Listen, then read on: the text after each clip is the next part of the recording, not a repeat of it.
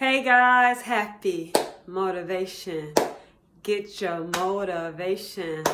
M- m- m- motivation. Happy day, you guys. Happy September Mental Health Awareness Month. Um, so, today I wanted to talk about how we can help support our mental health during the COVID 19 pandemic.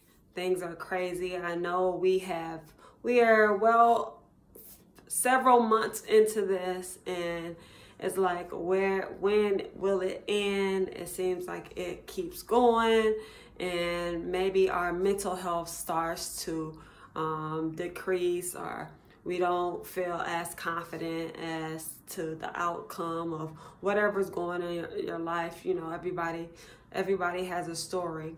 Um, but in the midst of this um, COVID 19, of us social distancing and wearing masks throughout.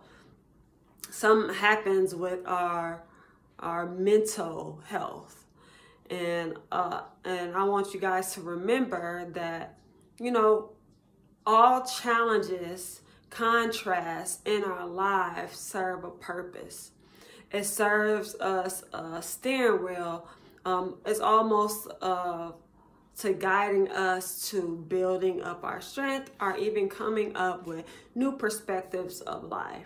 Um, just like um, building up a muscle, it requires some type of hard work and pain. Um, so when we come into this time in life, which is a special time for us to really dive into our health and well-being, what how can we support ourselves through this COVID 19. So, I'm gonna give you four tips to help you with your mental well being. Tip number one is looking at your food, food, food, looking at nutrition. Um, some of the things, eliminating things out of your diet, like sugar. Sugar is a big addictive tool that really causes um, imbalances in our mental mind. Uh, we go up and down as our, our mind starts to race, especially when you need that fix of sugar or processed food. A lot of processed food, most processed food has sugar in it, some quality of sugar.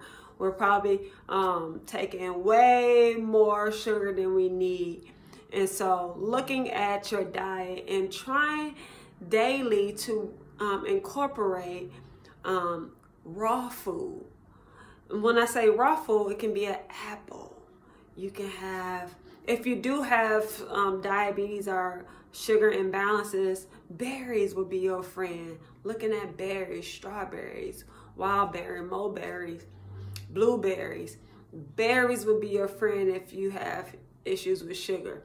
But you can also make a smoothie. That's raw food. You can also have a salad or nuts. So finding um, in your day where you can actually really, if you have nuts, just have like a handful. Don't have too much. Um, they have, you know, some much too much fat sometimes, but um, but trying to slow down to support your digestive health helps your mental health. Have you ever been constipated? Can you focus? How you feeling? You don't feel real good. You don't feel like you can make good decisions. So making sure that you're eating raw food and raw food will help turn on our digestive system because of sometimes when we eat the um the high uh, like when we're cooking food that has some toxins that comes out requires our body to digest digestive system to work a little faster a little bit more so we we allow it to slow it down by eating raw foods that kind of just ease throughout our system, um, we're helping our mental health. So food, along with food, making sure that you're drinking water, staying hydrated throughout the day. Spring water, fresh spring water would be great. That helps again with your digestive system, helps the body feel energized, helps the mind because guess what? We're about 75% water and if we're not replenishing ourselves and allowing ourselves to release out some of the toxins out of our body, our mental mind will not be clear.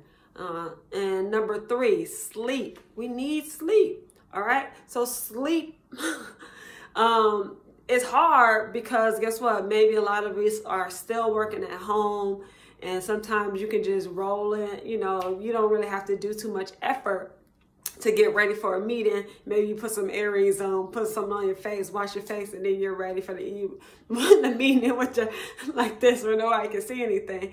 So so your sleep is kind of you know you're really not putting a lot of effort in your bedtime routine and your morning routine. Make sure that you have a bedtime routine. So something where you are preparing your mind for rest. All right, so making sure that you are in the bed at this time. And then your morning routine, make sure you are preparing yourself for a more active day. So making sure that you're having those two set will help you rest um, throughout the day. So food, water, sleep, and most important, my fourth, fourth tip, to help you with your mental health during the COVID 19 is meditation. I'll say it a billion times and a billion times over. It is science behind meditation and how it helps, heals the body. If you are not practicing my meditation, please start today. Even if it's one minute, how I started my meditation journey, I had a clock every hour. I would, because I, I, had a lot of anxiety, depression. I was going in and out. Um, I had a timer on my watch. Every hour, I just practiced taking deep breaths. And if you are someone who is super high strung and really get triggered about what's what's going on in the world, really unsure, set you a clock, set you a timer every hour. Practice deep breathing. Do it with me. Inhale through your nose. Exhale out through your mouth. Another inhale through your nose. Exhale out through your mouth. Just allowing that practice of breathing, slowing down, and practicing meditating on your breath and the sensation of what it feels like to be in your breath is mental health is allowing you to show up more authentically. So more um more present into the until today's time. And it's okay that things are going chaos. This is your time to slow down and to go within and and finding more peace for you and for me. So my name is Venus Washington. Hopefully this video was beneficial. If you like it, please subscribe and also share to your friends who you think it would be beneficial.